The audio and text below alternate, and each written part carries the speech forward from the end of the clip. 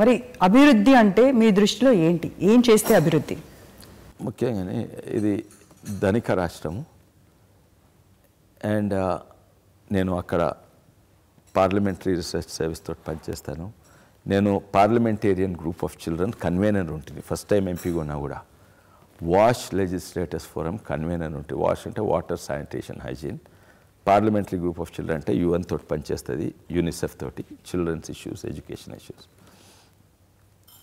అప్పుడు ఇరవై తొమ్మిది రాష్ట్రాలు ఉండేది. ఇరవై తొమ్మిది రాష్ట్రాలలో లాస్ట్ అన్నిట్లో తక్కువ విద్యా వైద్య రంగం మీద ఖర్చు పెట్టేది మన తెలంగాణ. ఇది అభివృద్ధి కాదు. మన తెలంగాణ స్కూల్ నేను ఇప్పుడు కూడా బాత్రూమ్ కడగవలసి వస్తుంది. అది చూస్తే హారబుల్ ఉన్నాయి. ప్రతి స్కూల్ ఇప్పటి సంది కాదు నేను మొత్తుకుంటా ఉన్నా. ఇప్పటి సంది టూ థౌజండ్ ఫోర్టీన్ అప్పుడు టీఆర్ఎస్ ఉంటే బయట మొత్తుకోలేను. అందుకే సప్పుడు యొక్క నేను ఐదారు వెహికల్స్ పెట్టి రేలీ స్కూల్కి పోయి బాత్రూమ్ కడిగిస్తున్నా. అప్పుడు ఉన్నట్టు నేను ఒకటి ఉన్నది కదా పార్టీ లోపట ఉన్నప్పుడు బయటకు వచ్చి అగేన్స్ట్ మాట్లా లోపల మాట్లాడాలి. నేను లోపల మాట్లాడుతుంది. అయితే ఎడ్యుకేషన్లో వెనుకకు పోయినాం. హెల్త్ కేర్లా మన మందకృష్ణ మాది గారిని కలిసినట్టు. తను వైఎస్ఆర్కు టోటల్ అగేన్స్ట్ వైఎస్ఆర్ రాగానే ఎంతోమంది పిల్లలు హార్ట్అటాక్ తోటి చచ్చిపోతున్నారు. వాల్వ్స్ లేక ఇది లేక మీరు డాక్టర్ అయ్యి సీఎం వైఎస్ఆర్ గారు డాక్టర్. చదువుకున్న ఆయన ఈయన తీరుగా డెబ్బై వేల ఎనభై వేల పుస్తకాలు చదువుకున్న ఆయన నిజంగానే డాక్టర్ చదువుకున్న ఆయన అయితే మందకృష్ణ మాదిగ గారు పోయినరు రోడ్ల మీద సెక్రటేరియట్ మీద పిల్లలందరూ పరేడ్ చేస్తే ఏంటంటే ఆయన నువ్వు సీఎం అయినవు పిల్లలు చచ్చిపోతున్నారు హార్ట్ అటాక్లతో అంటే ఇమీడియట్లీ వైఎస్ఆర్ ఆ నెగటివ్ దాన్ని పాజిటివ్ చేసుకొని ఆరోగ్యశ్రీ అనేది పెట్టిండు. అది ఎంతో ఎన్నో ప్రభుత్వాలు కాపీ కట్టింది. దాన్ని ఆరోగ్యశ్రీ కంటే మంచికి చేసే వల్ల ఆరోగ్యశ్రీనే నాశనం చేసింది కేసీఆర్ గారు. విద్యారంగంలో వైద్యారంగంలో. అవి విడిచిపెట్టు. Filth. One of the filthiest city అయిపోయింది. చెరువులు చూడండి. చెరువులు అన్నీ కంపు. ఎస్టీపీలు. సీవేజ్ ట్రీట్మెంట్ ప్లాంట్స్ చెర్లను ట్రీవేజ్ సీవేజ్ మొత్తం చెర్లలో లీడ్స్ పెడుతున్నారు ఇది అభివృద్ధి కాదు. ఇది డెవలప్మెంట్ కాదు. కేవలం గచ్చిబౌలి ఫైనాన్షియల్ డిస్ట్రిక్ట్ ఏదో గూగుల్ మైక్రోసాఫ్ట్ తీసుకొస్తే డెవలప్మెంట్ కాదు. మీరే అన్నారు. చంద్రబాబు నాయుడు మీరు మీ వల్ల రాలేదు గూగుల్ మైక్రోసాఫ్ట్ హైదరాబాద్ నగరంలో రియల్ ఎస్టేట్ తక్కువ వెదర్ మంచిగా ఉంది దానివల్ల వచ్చింది మీదే. ఇప్పుడు ఏ ఏ కంపెనీ వచ్చినా నేనే రాజ్ కుమారుడే నేనే తెచ్చినా నేనే చేసినానే. నువ్వేమన్నావు చంద్రబాబు నాయుడు గారు హైటెక్ సిటీ గురించి? ఆయనేం గొప్ప చేసిండు? అని అన్నాడు అయితే డెవలప్మెంట్ అనేది మంచి బయట వాళ్ళు వస్తే చూపెడతందుకు మంచిగా ఉంటుంది కానీ ప్రజలకు తెలుసు డెవలప్మెంట్ ఏందో. మా రోడ్లు ఎట్లున్నాయి చూడండి. రోడ్లకు పైసలు ఉన్నాయా? మొన్న రెండేళ్ళ కింద వేసిన శంకర్పల్లి రోడ్ చూడండి. అది వన్ ఇయర్నే ఖరాబ్ అయిపోయింది. మళ్ళా రీటాప్ చేసేందుకు పైసలు లేవు. దేని కొరకు కూడా పైసలు లేవు. ఎందుకంటే నాలుగు లక్షల కోట్లు అప్పు పెట్టిండు. ఆ నాలుగు లక్షల కోట్లు ఎక్కడ పెట్టినంటే రియల్ ఎస్టేట్ ధరలు పెరిగినాయి. అంతేగాని అభివృద్ధి ఏం కాలేదు.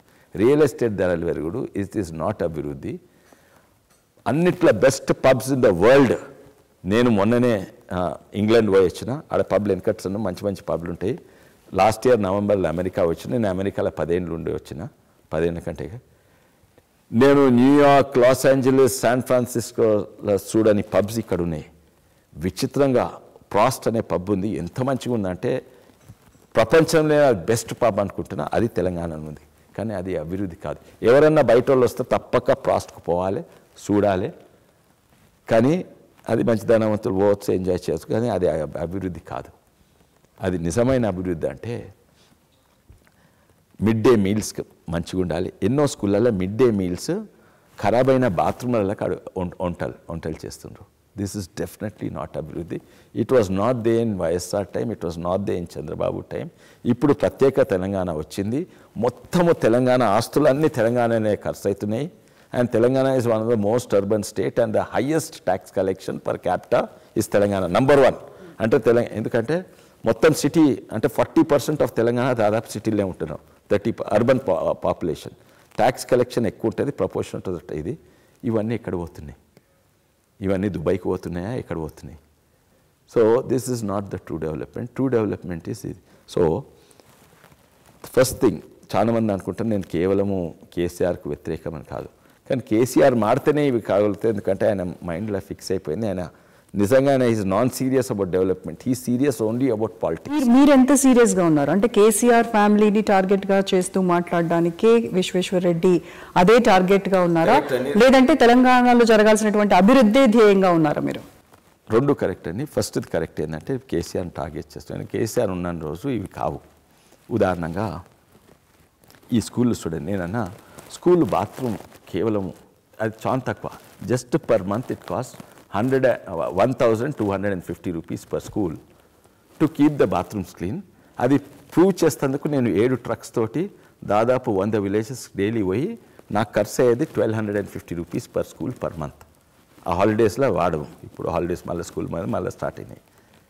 అంతా కూడా ధనిక రాష్ట్రం అంతా కూడా. So we have to do that తర్వాత మన ఎన్నో పాలసీస్ ఉన్నాయి. ఇవన్నీ నేను చెప్తా ఉన్నా నేను పట్టించుకుంటలేరు ప్రభుత్వమే మారాలి. అప్పుడు మారితే ఇది కూడా మారుతుంది. మీరు మా ఎడ్యుకేషన్ మినిస్టర్ని బ్లేమ్ చేయాలని అవసరం లేదు. తన దగ్గర పైసలు లేకపోతే తనేం చేస్తుంది? అంత వీళ్ళే కంట్రోల్ చేస్తున్నారు. సో ఎడ్యుకేషన్లో health కేర్లో start Aarogyasri once again. Start the insurance scheme. Aarogyasri also was back by insurance improve that improve అయ్యాక అప్పుడు అంత పైస డబ్బులు లేకుండా అన్ని అన్ని పైసలు లేకుండే వైఎస్ఆర్ గారి దగ్గర. ఎందుకంటే ఉమ్మడి రాష్ట్రం పెద్ద రాష్ట్రం దాని దాని మొత్తం హైదరాబాద్ నుంచి ఇప్పుడు ధనం ధనం మొత్తం ఆంధ్రప్రదేశ్కు హైదరాబాద్ నుంచి వచ్చేది. ఇప్పుడు మొత్తం తెలంగాణకు ఓన్లీ హైదరాబాద్ ధనం మొత్తం ఇది. అయితే ఇప్పుడు దాన్ని ఇంప్రూవ్ చేయండి. ఇంప్రూవ్ చేస్తలేరు. సివిక్ ఇష్యూస్ ఇంత ట్యాక్స్ కడుతున్నాం ప్రాపర్టీ ట్యాక్స్లు పెరుగుతూ వస్తున్నాయి ప్రాపర్టీ ట్యాక్స్ ఆ అపార్ట్మెంట్ కాంప్లెక్స్ ఉంది గేటెడ్ కమ్యూనిటీ ఉన్నాయి. కొన్ని పెద్ద ధనవంతులు ఉంటాయి కొన్ని పేదోళ్ళు ఉంటాయి. ఇది అల్విన్ కాలనీ అని మా మిత్రుడు ఇక్కడనే ఉన్నారు. తనకు తెలుసు. వాళ్ళందరూ ట్యాక్స్ కడతారు. ఇప్పుడు అల్విన్ కాలనీ అని ఉన్నది. ఆ ట్యాక్స్ కడితే అంటే చాలా ధనవంతులు ఏమన్నారు వాళ్ళు దాదాపు మూడు నాలుగు కోట్ల ట్యాక్స్ కడతారు. చాలా అల్విన్ కాలనీ ముంగట ఉన్న డ్రైనేజ్ చక్కగా పనిచేయదు అయితే thirty percent of the tax collection should be given to the association ఇప్పుడు నాలుగు కోట్లు అల్విన్ కాలనీ ట్యాక్స్ కలెక్ట్ చేసిన అనుకో and one and half crores వాళ్ళకి వాళ్ళే వాళ్ళు రిపేర్ చేసుకుంటారు.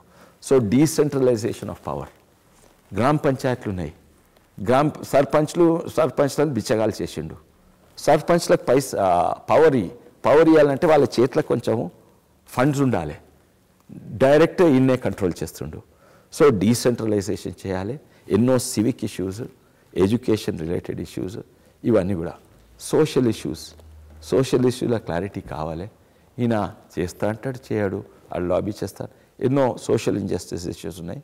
దాని మీద అది ఓన్లీ వాడుకుంటున్నారు రాజకీయాలకు కానీ ఏది కూడా రిజాల్వ్ చేస్తలేదు. ఇప్పుడు మందకృష్ణ మాదిగ గారు ఎస్సీ ఎస్టీ వర్గీ వర్గీకరణ చేస్తాము. వాళ్ళ అభిప్రాయం ప్రకారంగా మాదిగాస్కు అన్యాయం అవుతుంది.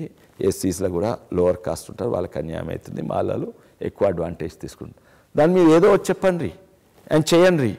ఏది రాజకీయాల కొరకు వాడకండి. So whether it's social issues education issues అని అన్నిట్లో పెద్దది ఏంటంటే which bought Telangana to the abyss అంటే one and half lakh crores Kaleshwaram project and mission ప్రాజెక్టులు ఇవన్నీ. ఇప్పుడు ఇన్క్లూడింగ్ ఇన్ సిరిసిల్ల ఆ మిషన్లు చక్కగా పనిచేస్తలేవు. అండ్ రైతులకు అన్యాయం అవుతుంది రైతులకు మద్దతు ధర దొరకలేదు. ఈయన వరి వండియాలని అంటుండు మళ్ళీ పండియొద్దు అంటాడు మళ్ళీ ఇది పెట్టాలి అది పెట్టాలి. Land reforms issues so all these these are the things we are fighting for we are not fighting KCR as a individual individual అంటే the person who best treated me నాకు ఇంటికి పోతే అన్నిట్లో కమ్మ మాంసం కూర పెట్టిందంటే కేసీఆర్ గారే. మంచిగా వాళ్ళ ఇంట్లో వంటలు మంచిగా ఉంటే ఎన్నోసార్లు భోజనం గురించి చేసిన. Not not because of person it is not at all person అండి in fact if KCR was successful I would have been the happiest man ఎందుకంటే నేను కేసీఆర్ కొరకు కొట్లాడినా తెలంగాణ కొరకు కొట్లాడినా ఎంతోమంది మా ఆంధ్ర ఫ్రెండ్స్ రిలేటివ్స్ ఉన్నావు పిచ్చోను అక్కడ ఎందుకు చేస్తున్నావు ఇది అది అంటే నేను కాదు తెలంగాణ వస్తే మాకు మంచిగా అవుతుంది మీకు కూడా మంచిగా అవుతుంది ఆంధ్రాకు అనే కొట్లాడినోని ఇప్పుడు ఆంధ్రాలో ఏమవుతుంది అంటే తెలంగాణని నాశనం పట్టించినాడు తను సక్సెస్ఫుల్ అయితే నేను సంతోషం ఉండనా? తను మారిండు అహంకారము ఇవన్నీ వచ్చినాయి. అండ్ తర్వాత తెలిసిందని తను only is never interest in development పచ్చి అబద్ధాలు ఇవన్నీ చెప్పేది. కొందరు అంటారు ఏంటంటే అబద్ధాలు అవసరం అప్పుడప్పుడు. అంటారు పెళ్ళి చేస్తేందుకు వెయ్యి అబద్ధాలు ఆడి కూడా పెళ్ళి చేయవచ్చు కానీ వెయ్యి అబద్ధాలు ఆశ నాశనం పట్టించుండు ఎవరు పెళ్ళి చేయలేదు ఏం కళ్యాణం జరగలేదు. అటు అటువంటి అయినందుకు నేను ఎట్లా సపోర్ట్ ఇస్తాను? వ్యక్తిగతంగా కాదు రాజకీయంగా వీఆర్ అపోజింగ్ హిమ్ తండ్రి కొడుకుల పాలన పోవాలి.